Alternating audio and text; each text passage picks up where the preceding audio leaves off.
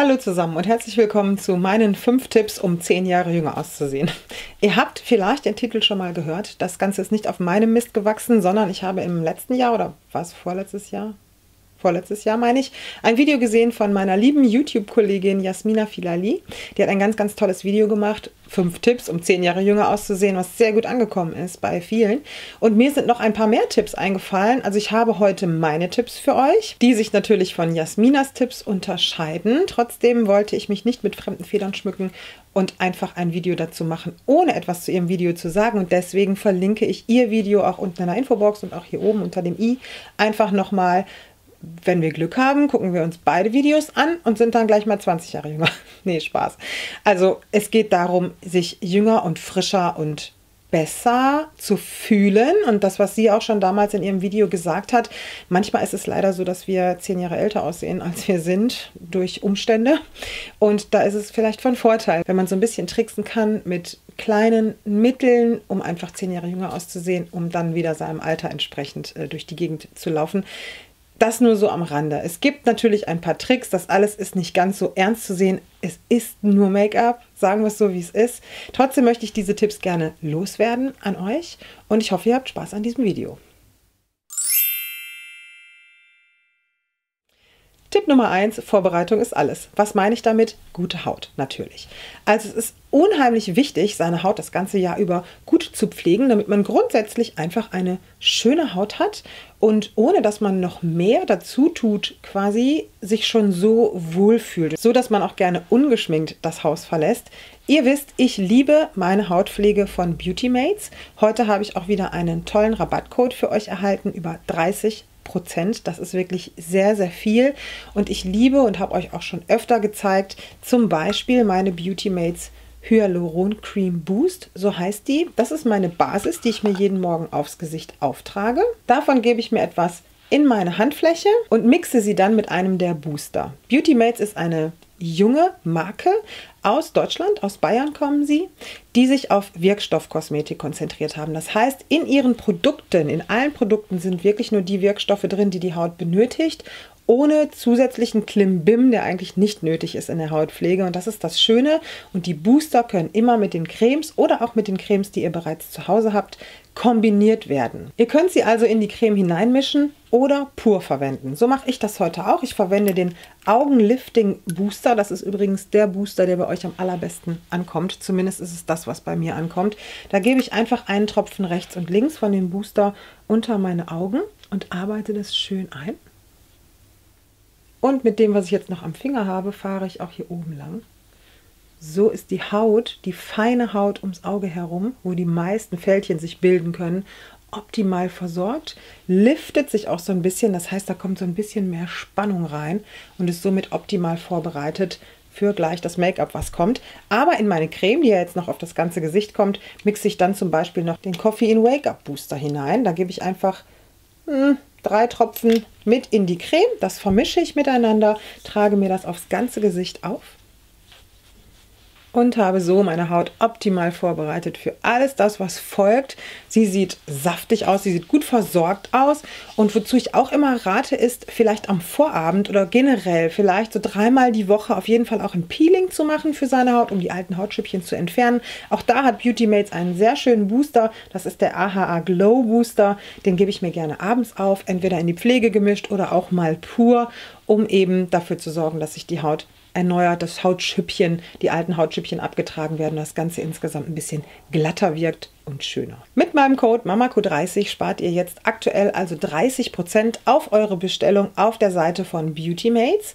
Zum Beispiel für das Pretty Eyes Set. Das besteht aus der Hyaluron Cream Boost Cream und dem Augenlifting Booster, was ich euch jetzt gerade vorgeführt habe oder gezeigt habe, wie ich es aufgetragen habe. Das sind diese beiden Produkte. Ihr könnt selbstverständlich auch den Augenlifting Booster separat bestellen oder einzeln bestellen und in eure bestehende Hautpflege mit hineinmischen. Ebenso wie alle anderen Booster. Koffein Wake Up mag ich sehr gerne. Der Selbstbräunungsbooster ist toll. Einfach ein paar Drops davon in eure Tagespflege oder Nachtpflege mit reingeben und ihr habt eine super ebenmäßige, schöne Bräunung. Oder auch den AHA Glow, den ich euch auch gerade gerade gezeigt habe, für abends dann für die Hauterneuerung. Ich glaube, die 30% sind schon echt ein Knaller. Ich kann es, wie gesagt, nur empfehlen. Ich bin sehr zufrieden damit. Meine Haut verträgt es sehr gut. Das ist auch das Feedback, was ich von vielen von euch zurückbekomme. Viele lieben den Selbstbräunungsbooster, viele lieben den Coffee in Wake Up und die meisten halt eben den Augenlifting Booster. Aber auch die Hyaluron Boost Cream kommt immer wieder sehr gut an bei euch. Und das ist eben das positive Feedback, was ich zurückbekomme. Nicht nur hier, sondern auch bei Instagram, teilweise auch in E-Mails. Und das ist eben auch der Grund, ich benutze die Produkte selber sehr, sehr gerne, aber das ist eben nochmal zusätzlich ein Grund, warum ich sie sehr gerne auch weiter bewerbe, weil ich eben die Erfahrung gemacht habe, dass selbst sensibelste Haut mit diesen Produkten von Beautymate sehr gut klarkommt. Und das kann ich einfach nur weiterempfehlen. Und ja, damit haben wir den ersten Tipp quasi schon abgehandelt. Macht regelmäßig ein Peeling, kümmert euch um eure Haut, benutzt ein Serum, was passend für eure Haut ist, benutzt eine Nachtcreme, eine Tagescreme und schminkt euch abends immer sehr gut ab. Das ist vielleicht nochmal so ein kleiner zusätzlicher Tipp, den ich mitgeben will. Dann haben wir nämlich die perfekte Basis, um jetzt mal loszulegen mit Foundation. Tipp Nummer zwei, weniger ist mehr. Egal was jetzt kommt. Benutzt nicht zu viel. Ich habe das schon so oft gesehen, auch bei Freundinnen, die sich gerne schminken möchten, obwohl sie sich sonst vielleicht nur wenig schminken. Und dann geht wirklich teilweise eine getönte Feuchtigkeitspflege oder eine Foundation. Da kommt dann so ein richtiger kleiner Berg auf die Finger, dann wird so gemacht und es ist einfach immer zu viel. Und das Problem dabei ist, ähm, man möchte die Haut ebenmäßig haben, man möchte, dass sie schön ausschaut, man möchte, dass sie gesund aussieht und man versucht das mit mehr Produkt irgendwie zu erreichen. Meistens geht es leider in die Hose und es ist dann einfach wirklich zu viel. Also merkt euch auf jeden Fall, egal was ihr auftragt, weniger ist mehr. Ich liebe zum Beispiel auch einen guten Primer. Ähm, mein allerliebster ist dieser hier von Benefit. Und zwar meine ich mit Primer diese Produkte wie das hier, die dafür sorgen, dass die Poren quasi wie zugespachtelt werden und ihr eine ganz, ganz ebenmäßige Fläche erhaltet, auf der ihr dann die Foundation auftragen könnt. Es ist meist silikonhaltig und es sollte auch nicht unbedingt jeden Tag aufgetragen werden, aber wenn ihr ein schönes, perfektes Ergebnis wollt, dann probiert es mal mit so einer Basis, mit so einem Primer, denn der glättet wirklich Fältchen und vor allen Dingen Poren sehr gut aus, sodass ihr auf der glatten Fläche dann natürlich noch ein schöneres Ergebnis von eurer Foundation erwarten könnt, die ihr danach auftragt. Aber das nur am Rande, das kann man auch weglassen. Aber ein guter Primer sorgt natürlich auch dafür, dass die Foundation länger hält und so weiter. Also das ist nochmal so ein kleines zusätzliches Tool, was ich manchmal verwende. Und dann kommt Foundation. Ich habe hier die Touche Eclat von Yves Saint Laurent. Ich hoffe, da kommt noch was raus. Es ist so der letzte Rest. Ich gebe mir jetzt einen guten Tropfen auf meinen Foundation-Pinsel. Und damit starte ich und ich nehme auch erstmal nichts nach. Ich versuche damit auszukommen. Ich habe hier so leichte Rötungen.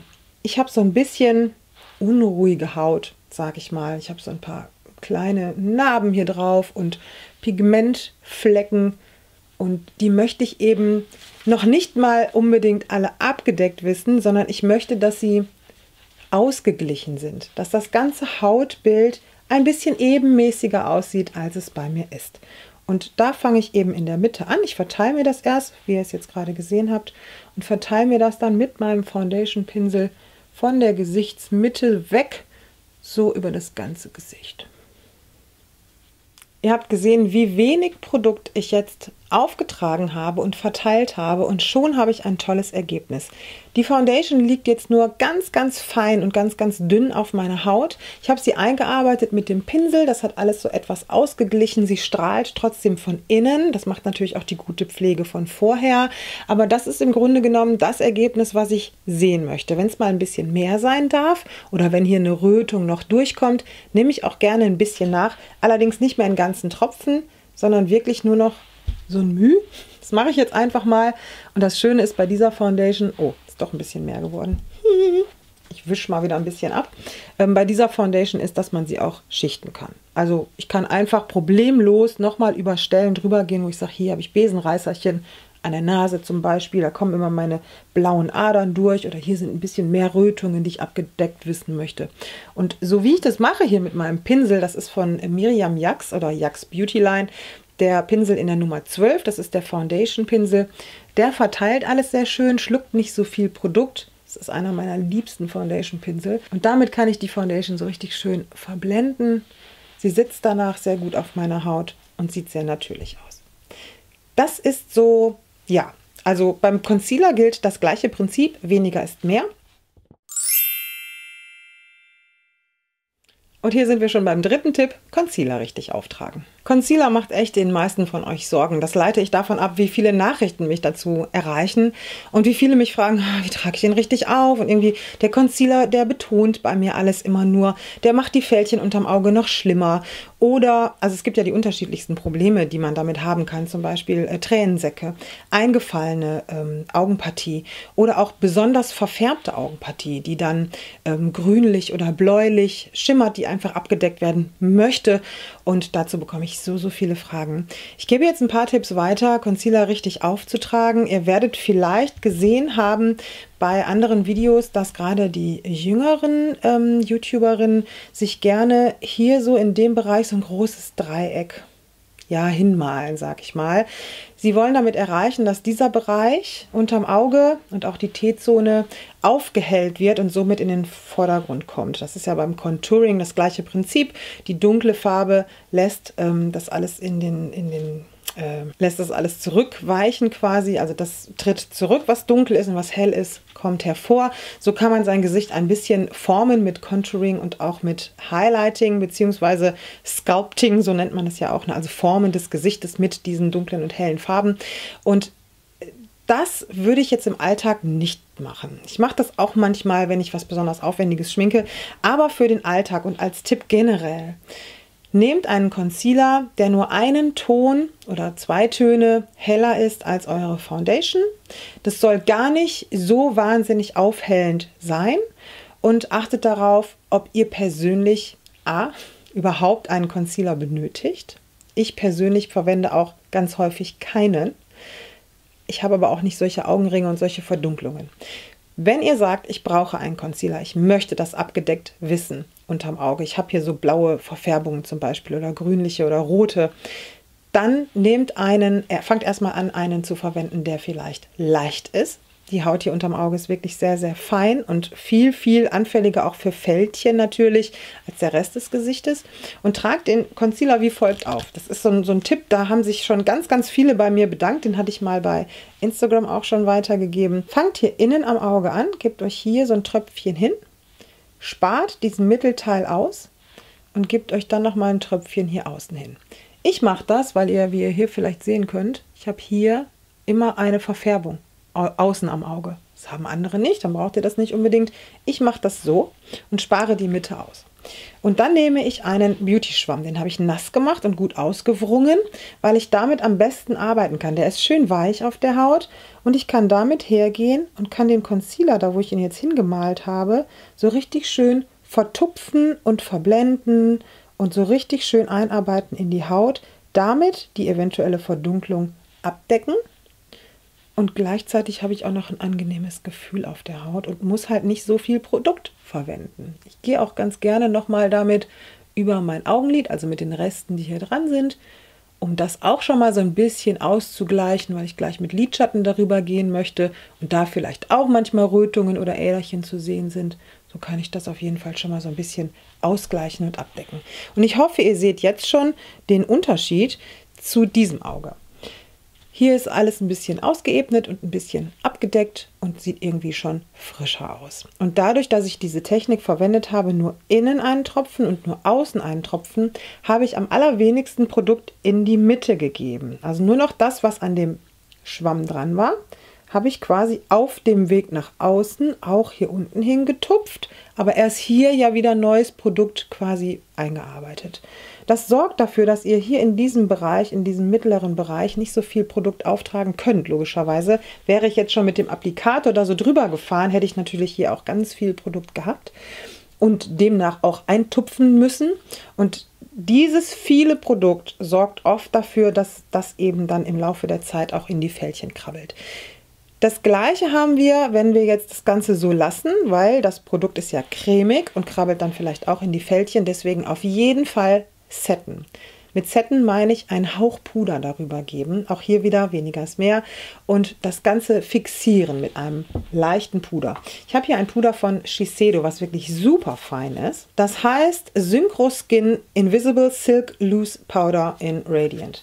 Und da ist ein kleines Schwämmchen dabei. Da gehe ich mal so rein. Das ist ein ganz, ganz weiches Schwämmchen. Und das Puder ist auch nochmal geschützt mit einem kleinen, feinen Netz.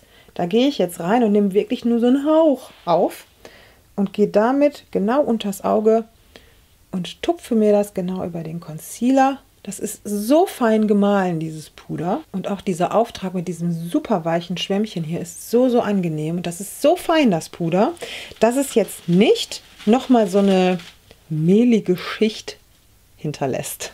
Ich nenne das jetzt extra so krass, weil das manchmal leider so wirkt oder so aussieht, wenn ihr euch jetzt loses Puder relativ dick mit dem Pinsel oder auch mit diesem Beauty-Schwamm hier, wenn ihr da so eintunkt und das so rauftupft, dann sieht das ja aus wie so eine dicke Mehlschicht. Und die kann sich natürlich auch wieder super in die Fältchen setzen. Und wenn ihr ein Puder nehmt, was so fein wie möglich ist, dann verhindert ihr das. Und ihr fixiert nur den Concealer, dass die cremige Substanz nicht so in die Fältchen krabbeln kann und dadurch ist es halt nochmal gefestigt, dass alles da bleibt, wo ihr es hingemacht habt und einfach auch länger hält über den Tag. Das ist so mein, sind so meine Tipps, was den Concealer betrifft. Probiert es einfach mal aus und vor allen Dingen findet den richtigen Concealer für euch, ähm, der die Deckkraft hat, die ihr benötigt. Vielleicht braucht ihr auch nur eine ganz leichte. Dann gibt es noch so Hyaluron-Concealer, die super fein sind. Vielleicht braucht ihr eine stärkere Deckkraft. Dann nehmt noch weniger Produkt und versucht es mal, das mit so einem Schwamm oder auch mit den Fingern durch die Handwärme kann man das auch ganz gut eintupfen. Versucht das einfach mal. Der Concealer, den ich hier verwendet habe, ist übrigens aus der Drogerie, der True Skin High Cover Concealer Waterproof von Catrice. Bei meiner eher öligen Haut habe ich jetzt auch den Rest meines Gesichtes mit diesem leichten Puder fixiert und jetzt male ich mir die Augenbrauen nach. Ich habe nämlich in den 90er Jahren viel zu viel gezupft, sodass ich hier vorne überhaupt keine Härchen mehr erkennen kann. Deswegen muss ich mir die täglich nachmalen.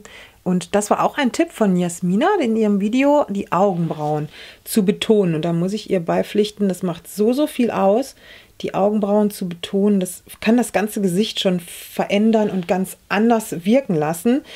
Immer positiv. So, das ist das, was ich äh, feststellen musste. Ich habe viele Freundinnen auch, die ihre Augenbrauen überhaupt nicht nachzeichnen. Und immer wenn ich ihnen sage, hey, ne, wenn man so aufs Gespräch kommt, äh, zeichne doch mal deine Augenbrauen so ein bisschen wenigstens nach und die machen das dann, dann sind die immer so happy und dann kriege ich immer so tolles Feedback, dass ich das auch unbedingt als Tipp einmal kurz erwähnen möchte. Mein eigentlicher Tipp Nummer 4 ist aber, Ja, tragt, was euch glücklich macht. Das meine ich so, wie ich es sage. Egal, was danach kommt, ähm, wie ihr eure Augen betonen möchtet, ob ihr ein aufwendiges Augen-Make-up schminken wollt oder etwas Dezentes, so wie ich es heute trage, tragt Mascara auf, die eure Wimpern schön betont, vielleicht sogar biegt oder einen, einen schönen Curl reinbringt, eine schöne Biegung reinbringt und sie vielleicht sogar dramatisch aussehen lässt. Oder Kontur, Bronzer, Blush, Highlighter. Wenn ihr alles verwenden wollt, verwendet einfach alles. Wenn ihr dezent bleiben möchtet und wirklich nur einen Hauch von Bronzer auftragt oder einen Hauch von Blush und eure Augen gar nicht so viel betont, sondern wirklich nur Wimperntusche auftragen möchtet, das ist komplett euch überlassen. Denn ich denke immer, so wie ihr euch fühlt, das macht euch attraktiv. Und da ist es egal, ob es der pinke Blush ist oder ob es der dezente Bronzer ist oder um welche Farben es sich handelt. Ganz wichtig, ich komme nochmal zurück auf einen der ersten Tipps. Weniger ist mehr. Auch hier nicht ganz so viel vielleicht verwenden. Wobei ich immer denke, wenn es euch glücklich macht, wenn ihr euch gerne super viel Blush auftragt und damit glücklich seid, dann strahlt ihr das nach außen aus und dann ist es auch wurscht. Also es ist, wie gesagt, es ist nur Make-up. Es sind nur Tipps von mir, die euch ja dazu bewegen sollen, ein bisschen was auszuprobieren, um euch besser zu fühlen. Und ich glaube einfach, dass die innere Einstellung, der glückliche Blick, wenn man damit zufrieden ist, was man gemacht hat, einfach dafür sorgt, dass man automatisch jünger und frischer wirkt. Tipp Nummer 5, tragt eine Lippenfarbe. Das ist zumindest bei mir immer so der letzte Schliff. Und auch wenn ich sonst gar nicht so viel gemacht habe, frische Lippenfarben verschönern einfach das Gesamtbild. Das ist einfach so. Zumindest bei mir. Ich habe jetzt auch ähm, keine besonders schöne Lippenkontur. Das heißt, bei mir sieht die irgendwie, wenn sie natürlich ist, immer so ein bisschen ausgefranselt aus. Also ich habe das nicht so schön scharf gezeichnet wie viele andere. Da bin ich immer ein bisschen neidisch, wenn ich das sehe. Aber ähm, eine Lippenfarbe sorgt bei mir immer dafür, dass ich mich gleich viel schöner fühle und auch irgendwie jünger, weil es auch die Lippen meistens ein bisschen voller erscheinen lässt, ein bisschen ebenmäßiger erscheinen lässt, nicht ganz so ungerade wie meine Naturlippe ist. Und wenn ich ein Gloss verwende, auch gerne so ein bisschen voller aussehen lässt und gepflegter. Ich mag aber persönlich auch sehr gerne matte Lippenfarben. Egal wofür ihr euch entscheidet, tragt sie auf und fühlt euch wohl damit. Ich habe hier ähm, eine relativ neue Lippenfarbe von Dior. Die habe ich mir relativ neu gekauft. Die heißt Sensual und entspricht so ein bisschen eher so meiner Lippenfarbe. Und das finde ich für den Alltag immer ganz, ganz toll, wenn ich mir die aufgetragen habe. Und es sieht so super natürlich aus und trotzdem nach Lippenstift. Dieser Lippenstift ist matt und ich mag daran, dass ich ihn einfach so auftragen kann. Ich mag gerne Lippenstifte, gerade für den Alltag, die ich einfach aus der Handtasche hole und ohne Spiegel mal so nachmalen kann, ohne viel Aufwand zu betreiben. Aber man kann natürlich auch viel Aufwand betreiben. Ne? So mit Lip Liner und Abpudern vorher und eine knallige Lippenfarbe tragen, wenn es einen an, an dem Tag Spaß macht und einem Energie gibt. Dann finde ich das auch immer sehr, sehr schön. Also ich mag immer gerne oder ich finde, es ist ein guter Tipp, zehn Jahre jünger auszusehen, wenn man auch seine Lippen nicht außer Acht lässt, pflegt, regelmäßig peelt, schön eincremt, über Nacht eine dicke Pflege aufträgt, dass sie grundsätzlich schon gepflegt sind, wie bei der Haut auch, und dann einfach einen Hauch von Farbe aufträgt, egal ob es ein Gloss ist oder eine Pflege oder eine Farbe oder auch eine knallige Farbe. Das ist wurscht. Ich finde, das macht das Gesamtbild einfach rund und sieht insgesamt einfach irgendwie viel besser aus. Ich habe noch zwei Zusatztipps. Der eine Tipp ist von Jasmina, macht euch die Haare schön. Da hat sie total recht. Also das sagt sie auch in ihrem Video und es ist, glaube ich, der letzte Tipp, den sie gibt. Ähm, sobald die Frisur sitzt, frisch gewaschene Haare, alles ist schön seidig, fühlt sich gut an, der Sitz stimmt, man fühlt sich wohl mit seinen Haaren.